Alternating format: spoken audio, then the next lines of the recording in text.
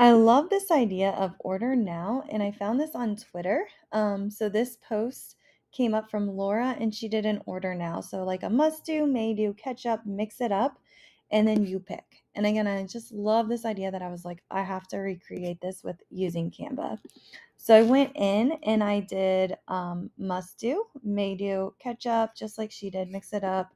Um, I added a question area. And so what I was thinking is must do is like the mustard. Uh, students have to do this. It is required that they complete all of these activities. So again, they have to do the Newsela, they have to do the Flipgrid summary, they have to do eight parts, um, whatever else they have to add to that list. Once that they do that, there's that may do, which is like mayo. And this, they get to pick two. So they come in and they have to pick two of these different activities. So maybe they do task cards and Kahoot. Maybe they do Epic and Kahoot. They, again, they get to pick which ones they want to do. Then there's the catch up. So this is where they do any unfinished work. Students, if you train them, they can go into Google Classroom um, or whatever your learning management system is, and they can make sure that all of those different assignments are completed for the week. Um, once they do that, they're they're ready to keep going. Um, and again, sometimes you might move this catch up up to the may do.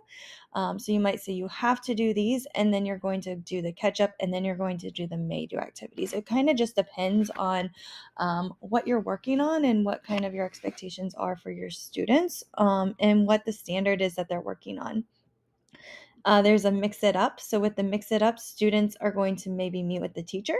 Uh, they might have like a hands-on activity where they're using maybe like shaving cream or something like that to work on vocabulary or some type of activity.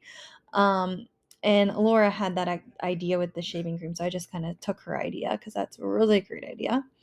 And then here it's the U pick. So before they work um, on any of these you pick, they have to meet with the teacher before, and they have to kind of create an action plan for how they're going to create um, and use to extend their knowledge. So the you pick is choice. They pick one activity.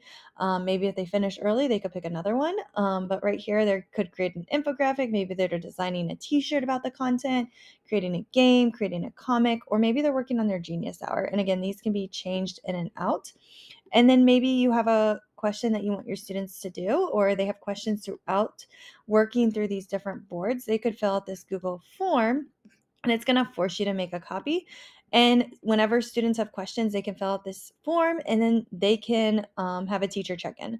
So you're able to look at the responses on this spreadsheet and then you can pull up students based on uh, their questions. So they can put in that they have a question, they have to use the restroom, technology. Uh, they can talk about things that they've tried already and then put their question in. And again, you're looking at the spreadsheet to determine who needs help, what they can do. If they have to use the restroom, you can just say go um, or whatever your operating procedure is for that. Um, so, really, just kind of looking at that sheet and pulling up students as needed. If you need the template, right here is the Canva version. Um, so you can go in, you can click use this template, and then you can come in here and you're able to um, move things around. Um, maybe you want to change this to here.